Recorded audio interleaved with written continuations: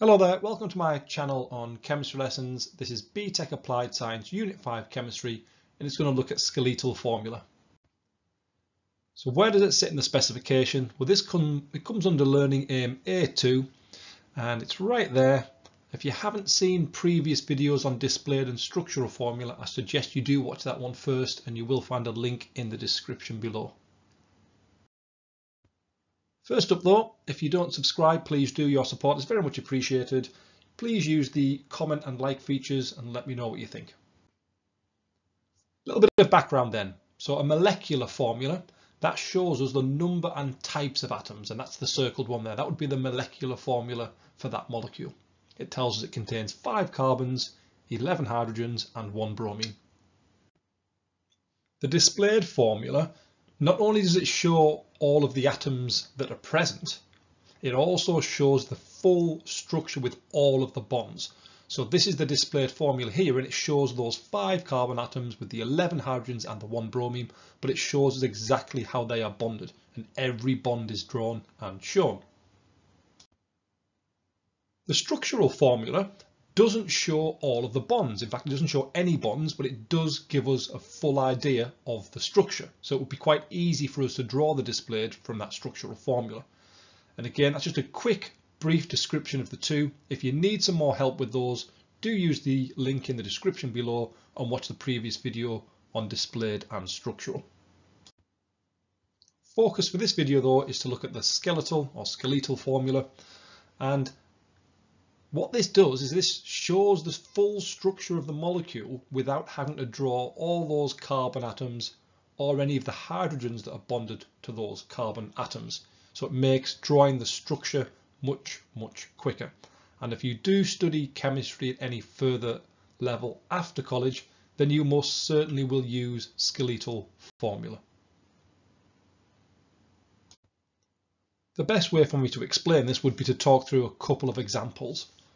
So you'll notice that i am using some graph paper here, some background of hexagons, and that's just to help visualize the kind of angles we're going to draw. So what we're going to do is I'm going to number these carbons, one, two, three, four, and five. So this contains five carbon atoms. So carbon, carbon, carbon, carbon. There's my four carbons. And there's another carbon bonded on that one there. So there's my five carbons. Now I don't bother drawing any of the CH bonds. So I don't need to draw any of these. I don't need to draw any hydrogens on this molecule in fact. So the final structural, or sorry, the final skeletal formula would be one, two, three, four, and then there's a methyl on that group there on the third carbon. There's several different ways I could draw it. Look, I could go one, two, three, four, the methyl on this one. That's exactly the same thing. Okay, so there's several ways of drawing it, but all would be correct. Just making sure that there's a carbon there, that's a carbon, that's a carbon, that's a carbon, and that's a carbon. We also need to use our knowledge that carbon will always have four bonds. So we know that this carbon at the beginning, for example, because it's only got one bond to another carbon, it must be a CH3 group. So we know that these carbons at the end are CH3s. We know this carbon in the middle must be a CH2 because it's already got two bonds. So the other two bonds that we can't see must be hydrogens. This carbon number three here, because it's got three bonds, we know that that must just be a CH group. And you can see that here, it's got three bonds to three other carbons, so there's a H. So we can kind of use our knowledge of numbers of bonds to recognize how many hydrogens would be bonded to that carbon. Next example then. A little bit different this one because it has a double bond here. But I'm just going to follow the same pattern. I'm going to number them. One, two, three, four. There's a carbon up there, five, and there's a carbon here, six. So how will I take that across? Right, well I can start anywhere. I'm going to choose to start at this point here. So there's a carbon, that's carbon number one, moving along to carbon number two, and then carbon number three, carbon number four, and that's the end of the chain. There was a carbon on the third. this would be moving down to carbon number five. And there was also a carbon up here, so this here would be carbon six. So just so you can recognize this, one, two, three, four, five, six. So there's my six carbons. Now, there is a double bond here, look. How do I show a double bond? Well, I'm just going to draw this as a double bond, two lines. So that's going to show a double bond there. So there's a double bond between the one and the two, or the first and the second carbon. And again, as the previous example, I would know that this carbon here has two hydrogens attached. One, two. How do I know that? Because it's got two bonds in the picture, two bonds there. Therefore, the other two bonds must be hydrogens. Okay, so we can apply those rules that carbon always has four bonds. So we don't have to draw all the CHs, we just need to know that the other atoms that are bonded there would be hydrogens. Likewise, that's a CH3, that's a CH3, and that's a CH3. CH3, CH3, CH3. This carbon number two doesn't have any hydrogens attached to it because it's already got four bonds. One, two, three, four. And as you can see, that carbon number two doesn't have any hydrogens attached.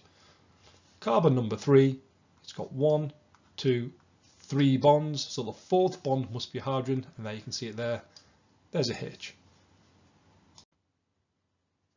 So there's a few for you to have a go at now. I'm going to suggest you pause the video and you try and draw these out. And when you're ready to see the answers, unpause and we'll go through them. Right, I'm going to do this top left one first. So there's four carbons in a line. One, two, three, four. So that's my four carbons. One, two, three, four. So I've done this part. There's a methyl group on the second carbon. There we go. And then there's a methyl group on the third carbon as well. So that's the skeletal formula for the first one. Let's do this one now.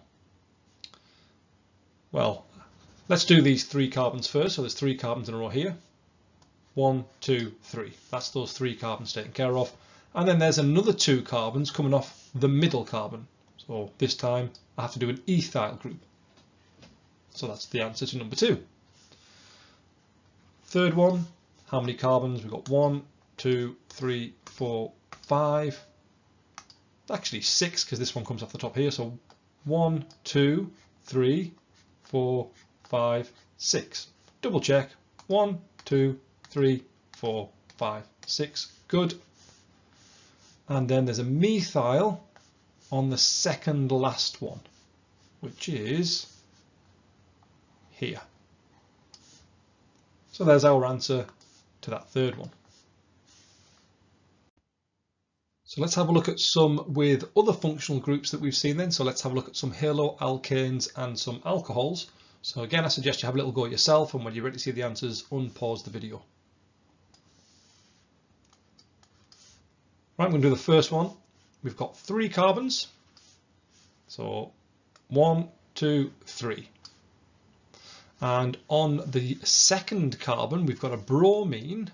So I do have to show that bond to the bromine and we have a methyl, CH3 group. So that's those two side chains there, and that's the skeletal formula for number one. Number two, one, two, three, four carbons, so one, two, three, four carbons. On the first carbon, there's an OH group, so I do show OH. Notice how I've done O first because it's the oxygen that's bonded to carbon, not the H. So I'm showing that the bond goes to the oxygen. Okay. What I didn't want to do is I didn't want to do this because this would have been wrong. Because that suggests the bonds to the hydrogen and it's definitely not. It's bonded to the oxygen, not the hydrogen. So OH. So that's this group. And then there's an ethyl on the second carbon. There we go. Slightly more difficult number two. Let's have a look at number three. One, two, three, four, five carbons long. One, two, three, four, five carbons. And on the first carbon, there's a bromine. On the third carbon,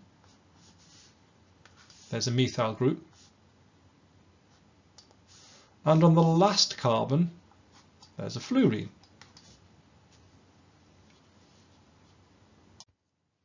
Last task then, so this time we've got some structural formula and we're going to see if you can convert them into skeletal.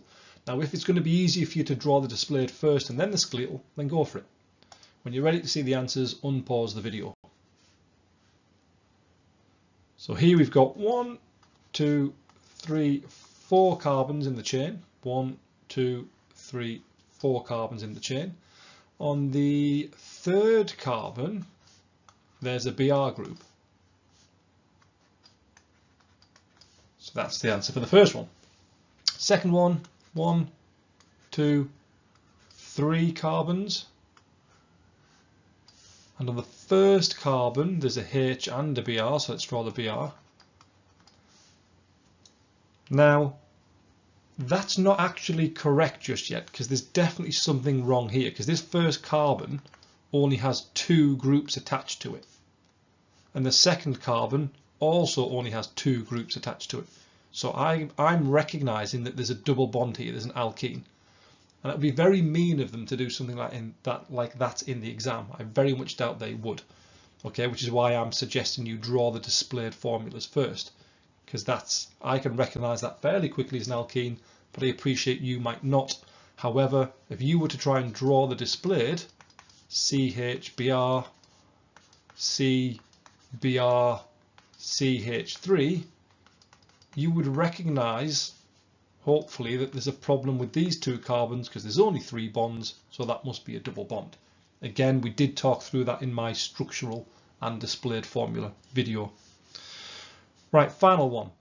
One, two, oh, that's a CH3, so that's a side chain. There's a three, four, so that's an awkward, this is a difficult one. So it's a, the longest chain is five. One, two, three, four, five. The last carbon is a CH3, that's fine, but the number four has a fluorine bonded to it. I've taken care of that. The third carbon had a H and a CH3.